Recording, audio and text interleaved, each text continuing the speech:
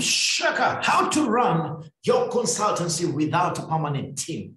Okay, yes, the question keeps coming up. Hey, how can I run my consultancy, my coaching business without a permanent team? And absolutely possible because these days, um, one of the reasons we became a consultant is so that you can have the freedom to work from wherever and then have people to do that for you. All right. The trick is in deciding what it is that you want them to do and most importantly, to get the right people to do it. All right. Now, identification of what they need to do is the first thing you need to decide. Okay. And as you can see on the board right there, is it possible to do it? Absolutely. How should you structure it in terms of having real efficiency of you running an amazing um, organization, having a team that is doing what they have to do, most importantly, delivering the result for your clients. Now, let me I, I have been around for such a while. I have been in business. I've recruited. I have supported teams, you know, across the world. One of the most important things when it comes to success is the quality of your people, the quality of the people you bring in. So as you consider not having a permanent team, I want you to be aware of the price you pay for that, i.e. They, they don't work for you, they work for themselves, you know, um, accountability thing, uh, issues and things like that are very, very high. However, on the other hand, if you get right people who are dedicated, who are amazing, then it can it can create some real magic. Okay, I've got one or two that I've been testing. They're pretty good. They're coming on okay. And yes, uh, sometimes you got to take your time. Sometimes you got to train them. Sometimes you got to give them a reason to stay with you long term. Past that, it becomes a situation of okay, are you rewarding them better?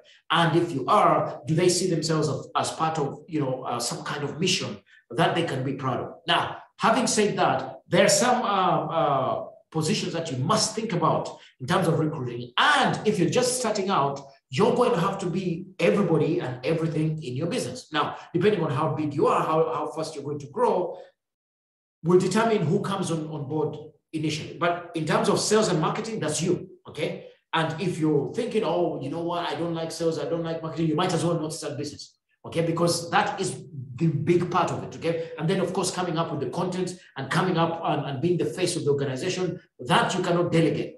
Now, the rest of the stuff we got here, the first person I have up there that you must consider is somebody who does your operations, okay? Somebody who's your IT guy, they understand IT, they understand tech, they understand how to, to get all these funnel things going. They look after your website, they look after, you know, the delivery of stuff, your Kajabi and stuff like that. That person is crucial.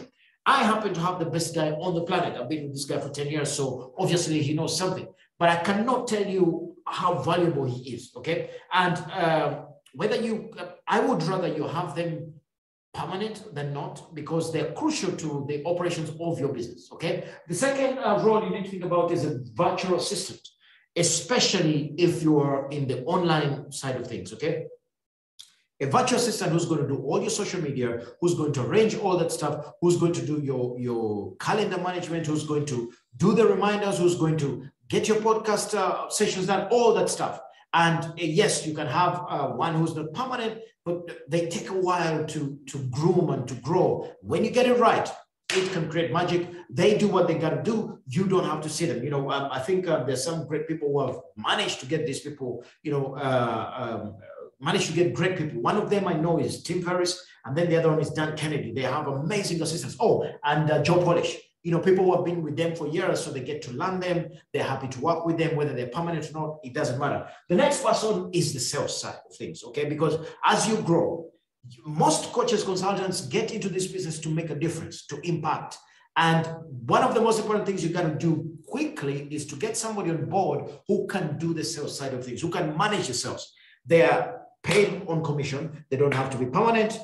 Um, they're paid on commission. And the more successful they are, the more people they bring in, the better they're, they are off and uh, the more that you reward. Okay. And yes, they can be semi-permanent. It doesn't matter. You can um, hire those people off Fiverr and all this. There's a lot of people, you know, there's a lot of, you can go to Fiverr, you can go to Upwork, you can go to Zippor. There are many places where you go, you put in, um, uh, you make sure that you get it right at the beginning. Okay. Your, your, your request for a candidate has got to be stringent so that only people who are ready to step up are the ones who step up to want to be part of your team. And then, of course, finally, um, when you've gotten to that level where you have a lot of clients, uh, remember the trick is in always the results that your clients get. The success of your clients is paramount.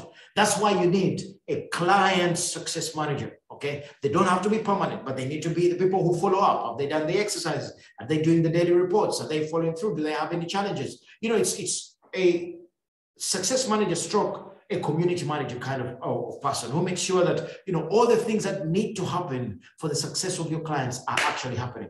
When you have those, and yes, they don't have to be permanent, then you have a pretty neat team for you to be able to go away in the world and continue to make your difference whilst this team also executes on your behalf. So I hope that was helpful. And if it was, hey, do me a favor, give me a thumbs up, smash that like button, subscribe to the channel because we're producing stuff for you all the time, every time, because our number one role is to make sure that, yes, you and me continue to have the audacity to live life on our terms. Until next time, peace.